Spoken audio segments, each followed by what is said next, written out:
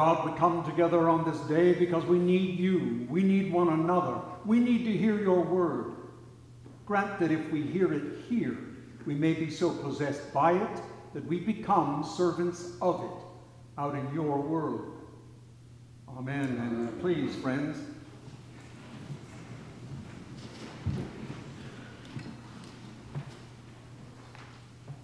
I think some of you know me. My name is Tom Scott. I am the retired rector of St. Paul's in Muskegon.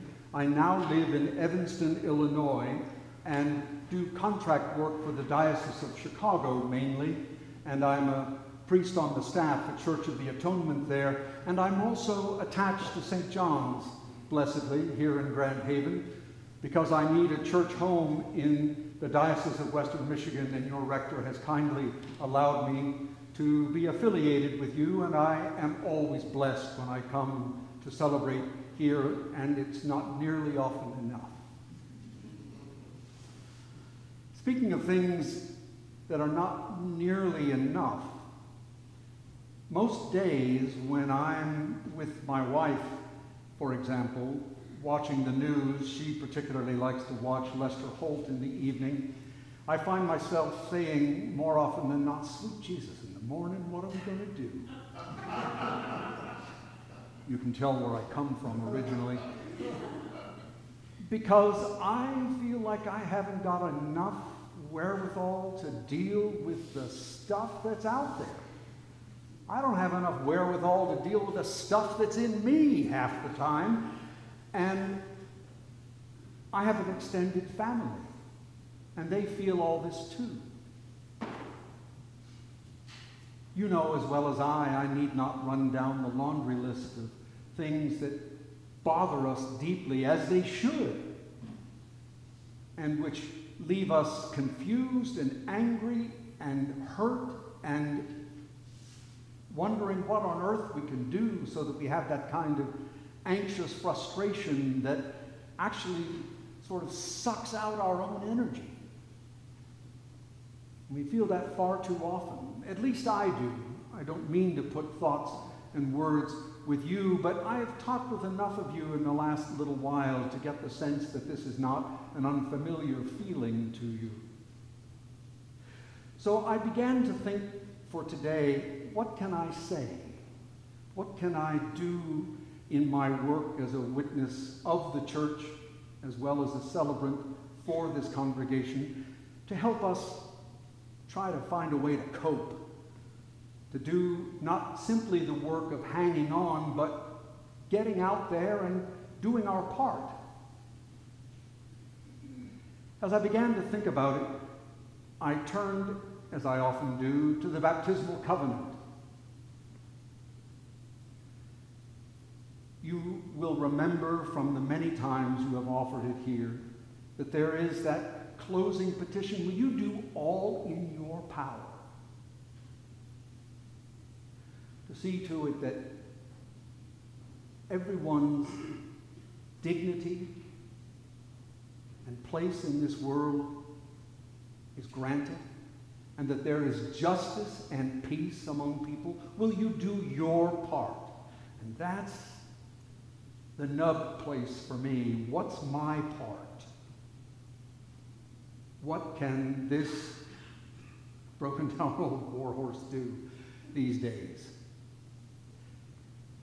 So, as I began to think and to reflect on that insistent question in the baptismal covenant, I came up with a way to look at things that I hope is helpful for you as you go on from today, whether it's to observe Father's Day or to remember your own fathers or to commemorate Juneteenth, to do all of the work that's around that, to simply open yourself to the world that we are in, to find a way to respond to all the things that are there. And this is what I came up with. For me, it begins if I'm to have any hope at all of seeing my way forward, with gratitude. I have been brought to this place We have been brought to this place in our lives by the continuing presence of God. Yes, we've had our part and we've sometimes rode our way off to the side of the channel we were supposed to be in. Things have happened to us because the world is not always our friend. People have done bad things. We have suffered at their hands. We have done less or worse than we might. We know all of this, but nonetheless, upon reflection, we can be grateful. I am here now.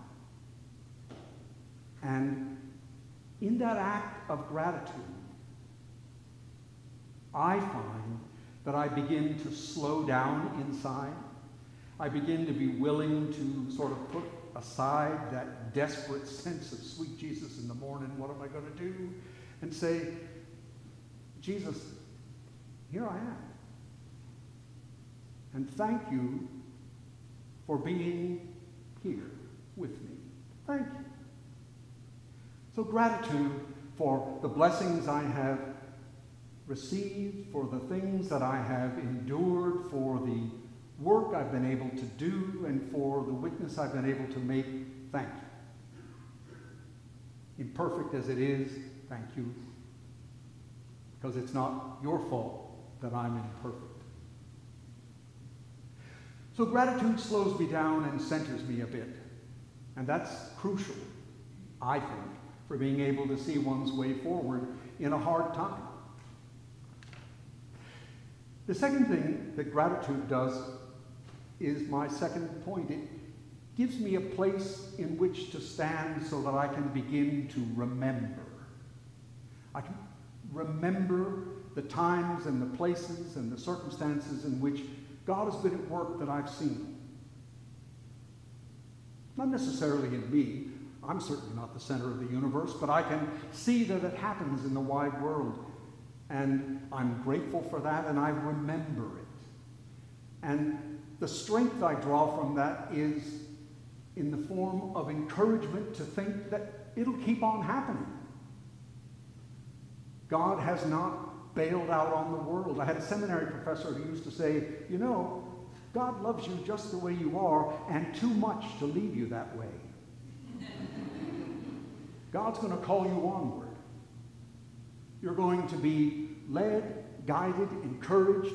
You're going to discover for yourself, by the grace of the Spirit, that there are things you want to do, ways you want to live and act that express who you are and enlarge your sense of participation in life and in the lives of others.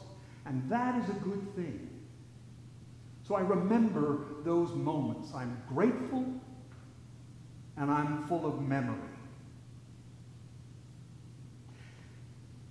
I come then to say, Lord, what am I supposed to see and know and do here? And so I go about the exercise of trying to observe,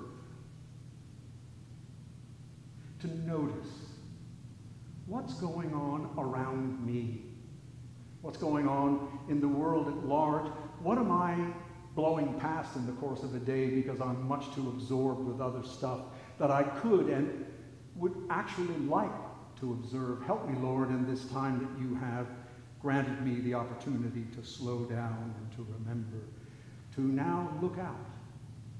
And to look out with as few blinders or sets of prejudices as possible and simply see what's going on. To be able to see the world as it is going on is a great gift and not one that I at least am able to lay hold of very easily very often. I have to go through that almost mechanical exercise to get to the place where I can start to see things as they are, not as I would have them be, want them to be, try to make them be, even blind myself to so that I don't have to see what there is to see. Because I do that too. So when I begin to observe, I also then can come to the place where I'm willing to make my pledge, which is, Lord, give me the work to do so that I can be a blessing to somebody, somebodies today. Give me my work to do. You've helped me see. Now help me be sent. Give me the work to do. I want to do that work because I'm grateful, because I remember all the things for which I am grateful, because I've seen the way the world is, and I don't want to be on the sidelines. Nor do I want to be simply caught up in my own affairs. I don't want to simply see things in terms of how I'm going to get along. I want to see how I can be part of the world you have made and are calling into being, sometimes even in spite of me. But Lord, make it possible for me now to be part of that in the way that helps, in the way that encourages other people to do the same thing. So that's what I brought you here today. I brought you from my work in the Diocese of Chicago, my service in the Church of the Atonement and in St. John's, Naperville, where I am also assigned, so that you can see what at least one person is doing and look at it and not judge it, I trust, so much as say, eh, he has a methodology and maybe there's a thing there for me. To be grateful to remember, to observe, to make the commitment to work, to grow in the Spirit. In the name of the Father, and the Son, and the Holy Spirit. Amen.